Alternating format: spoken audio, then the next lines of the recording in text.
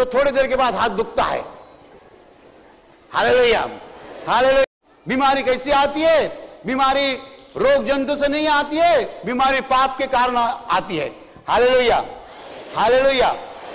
वो कहते रोग जंतु से आती है, इतना सा रोग जंतु इतने बड़े शरीर को खराब कर सकता है।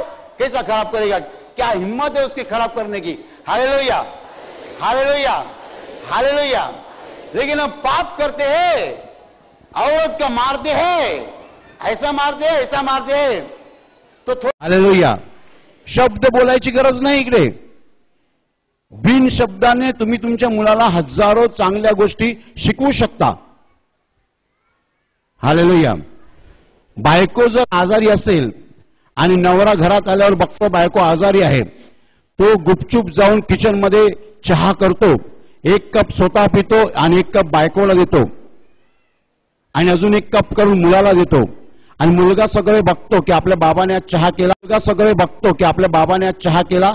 आईला दिला मला दिला स्वतः घेतला. हे जर मुलाने पाहिलं तर मुलगा मोठा झाल्यावर तसंच चांगलं करणार. बोलायची गरज नाही. फक्त डोळ्याने पाहून मुलगा शिकणार. दोन माध्यमातून आपण शिकत असतो. डोळ्याने पाहणं आणि कानाने ऐकणं. मुख्यतः दोन माध्यमातून आपण शिकतो. डोळ्याने पाहणं आणि कानानं कानाने ऐकणं. कानानं कानाने ऐकणं. आणि हे जे तुम्ही पाहता आणि ऐकता ते तुमच्या गोडाऊन मध्ये जाऊन बसतं. अंतकरणाचं गोडाऊन अंतकरणाचं कोठार. त्याच्यात भरतं. प्रभू येशू म्हणतो अंतकरणात जे भरले आहे तेच मुखावाटी बाहेर निघणार. हालेलुया. तुम्ही अंतकरणात काय भरले आहे तेच मुखावाटी बाहेर निघणार.